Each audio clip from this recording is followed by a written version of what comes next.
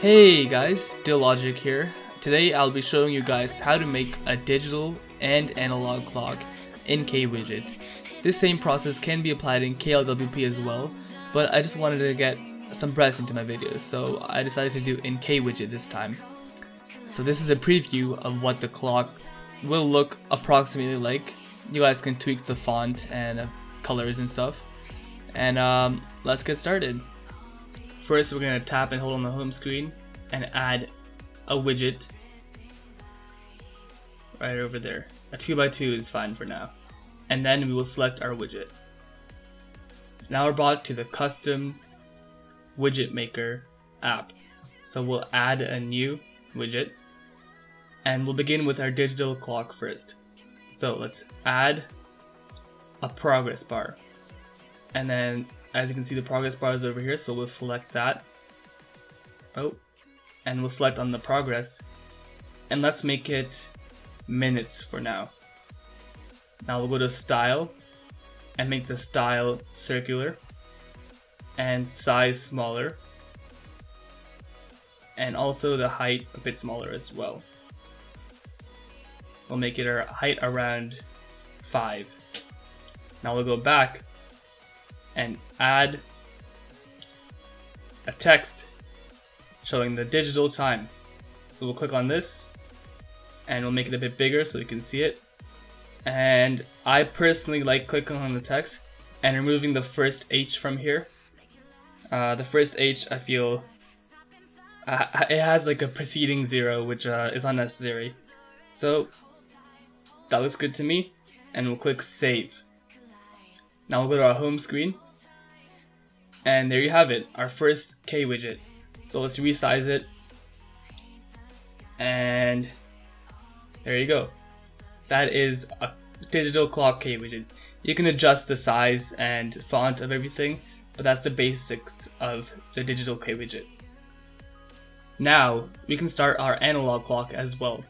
So we'll add a new widget again, do the 2x2, drag and drop, and let's go to it and we're gonna make a new one.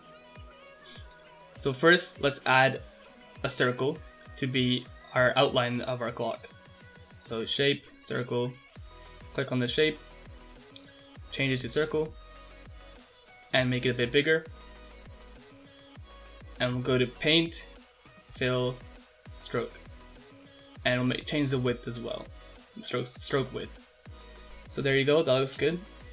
Now we're to add in clock hands. So for that, you need to follow along very closely. So we'll add a new overlap group. Now this we'll call it the hour hand. So let's change it to hour so we don't get confused. Looking good. Now we're gonna go to the hour hand and we're gonna add in a shape. Okay. Add a shape. And we're to make this a rectangle just like an hour hand would be. And we're to adjust the height to be as so. And we'll make the width a bit smaller like that. And then we'll change the position of this rectangle.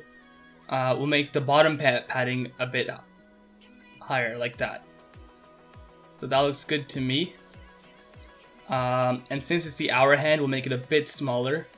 So let's change the height a bit and change the position again.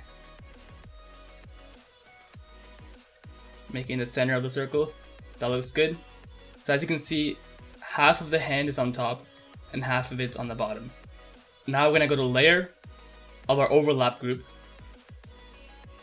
and put rotation on clock, hour hand smooth, or exact. I'll make it smooth. And there you have it. The time is currently 6.39 and the hour hand is showing 6.39 approximately. So we're gonna go back, we're gonna copy the hour hand, copy, and we're gonna paste it. We'll rename this to minute hand, minute, and we'll go in here. Make our layer rotation to be clock minute hand exact. And as you can see, it's 6.39 p.m. and that shows 6.39.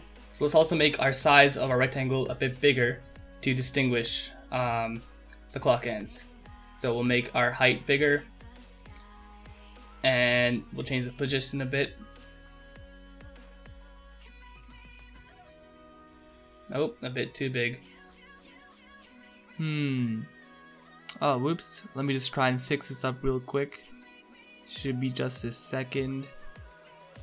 And we'll adjust the size a bit, and there you go. And then we'll click save. And when we go back, there you have it. Analog and a digital clock. We'll make it a bit bigger. And there you are. So as I mentioned earlier, these are the basics and you guys can definitely feel free to add on to it and make it your own. I really hope you guys are enjoying the video quality so far. I'm trying to make it the best I can. And uh, if you like it, then just leave a like below and a comment and I'll get back to you.